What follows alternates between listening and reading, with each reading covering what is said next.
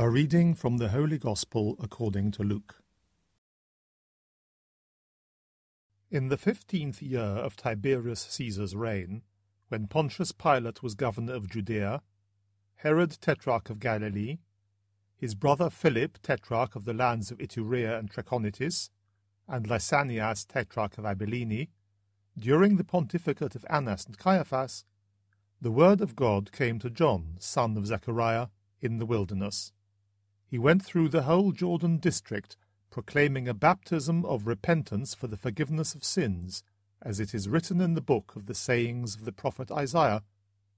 A voice cries in the wilderness, Prepare a way for the Lord, make his paths straight.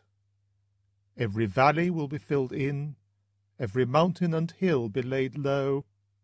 Winding ways will be straightened, and rough roads made smooth and all mankind shall see the salvation of God.